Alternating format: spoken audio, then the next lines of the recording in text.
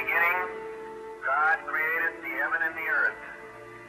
And the earth was without form and void, and darkness was upon the face of the deep. And the Spirit of God moved upon the face of the waters. And God said, Let there be light.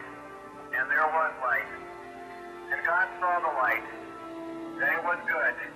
And God divided the light from the darkness. Diversity transform.